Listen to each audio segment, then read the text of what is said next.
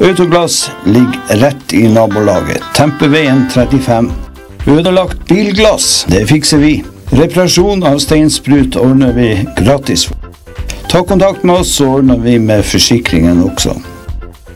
Ring oss på 06 004 og avtal time.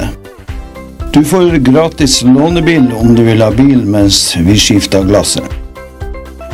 Autoglass, vi fikser glass.